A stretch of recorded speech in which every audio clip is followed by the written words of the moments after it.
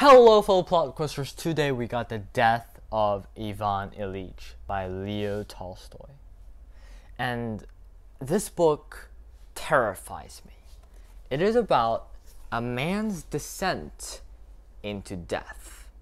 And as you can tell from the title, that man's name is Ivan Ilyich.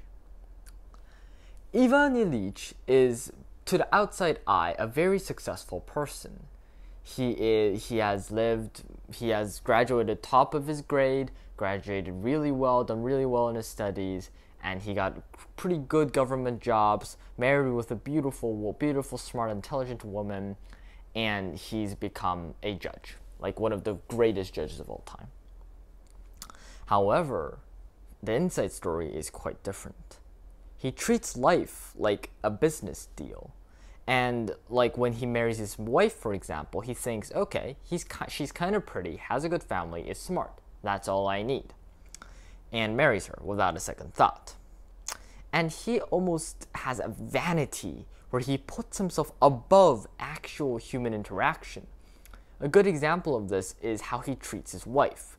When he argues with his wife, he says that it's mildly more unpleasant or unpleasant. And you I don't understand why he puts it that way. Like not, you know, I was it was very unhappy or it was a huge heated argument and I and I feel sorry and no, it's I feel unpleasant. It's like he's staring at a maggot on the ground, and that's unpleasant. Like it's treating himself so vainly and so egotistically to the point where he puts himself above human interaction. And I think that's horrible.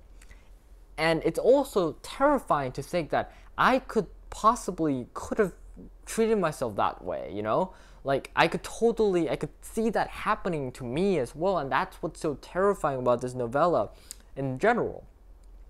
Ivan only cares about his social status and his head's so full of it his job is for social status, money for social status, his family is for social status, his house, his friends, everything is for a better social reputation and status so he can climb the job ladder to the top.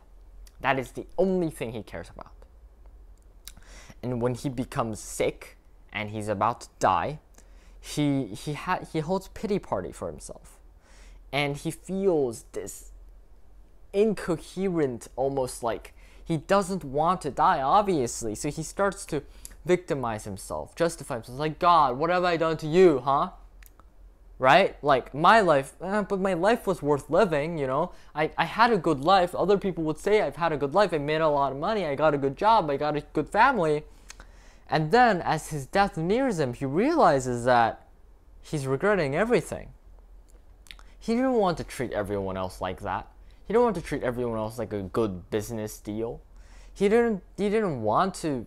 He perhaps didn't care that much about the social status in the first place, and all of these, how vain he was, how much money he made, the social status, all that was just. It was simply just a a small part of his just filling up his ego. It wasn't truly fulfilling and I that realization hit him at the end and he had so much regret and he dies. And that's the end of the book. Of course there are more specifics in the middle but just talking about what I really felt is it's so it's such a it's so scary because I can see that vanity like again like kind of taking over for me as well and me acting like Ivan Ilyich so perfectly composed and elegant and pleasant and living life that way when in fact all those small pleasures don't matter. The way he's living, conforming to society's ideals and, and becoming the perfect societal person, none of that matters in the front of death, and you realize that you have a lot of regrets because you haven't done everything that you've wanted to do. And I think that's scary. And it's also scary because Ivan, the, the time when he realized that was like the minute of his death. That was when he realized that he regretted everything and that he wanted to live a life that wasn't trapped by societal ideals and, and climbing up the social ladder and social status. And it's scary because Ivan considered himself the perfect example of having a perfect line between his personal and and and professional life because like he considers himself that. And that's not true because he he treats everyone his family his friends in a in a professional almost abridged manner where he doesn't care about them enough. And when he argues with them he simply says it's unpleasant and doesn't really think about it. And when when things get even more unpleasant for him he just pretends to work and get away from his wife he's lying to himself but he doesn't even realize. And that's incredibly scary because you realize that you might be lying your you might be lying to yourself as well. And you wouldn't even know just like Ivan until you die. And I guess the main purpose of the novel on of of the of the short novel is to put simply live a life that you don't regret. But that's just a really the most you know it's the most simplest message that you can kind of deduct because it's the book is so much more than that. It talk it shows you it's it shows you death. It is I've never seen a book that so accurately depicts someone's death and life so perfectly within a short hundred and couple pages.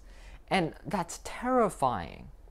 And it really made me think about so many things like my life and what I want to take, how I want to take my life, and how I want to live my life. Do I want to conform to society and act like Ivan Ilyich so perfectly elegant and socially acceptable, or do I want to live a freer life? And which one will I regret less when I die? It makes you think so much, and in that way, it's a masterpiece. And again, it's more terrifying than any horror horror book or horror novel because horror at least has a sense of fantasy within it. This is the cold, harsh reality. A reality that is that is much, much more scary and much, much more terrifying than any fantastical horror story out there. In that way, it's more terrifying than the best works of Stephen King or or Goosebumps. It's crazy. And it's a good book. I would recommend I, I wouldn't say I recommend the book, but like if you want a good thought, if you want to think about life and look over your daily deeds and look over yourself, then yeah, this is a good book for you. I'd give it an easy I'll give it a 10 out of 10. Like I didn't enjoy it, but at the same time, it was very well written, and the symbolistic little nuances of the character and and the message that it contains, it's just awesome. And like always, your plot quester and plot quester. Again, a little bit of a warning here. The book is quite depressing. It's literally the stages of someone dying, and yeah, yeah, just be warned. But you will come out of the book a different person than you were before reading it. That's one thing that this book accomplishes that is that makes it a true masterpiece. Have a great day. Goodbye.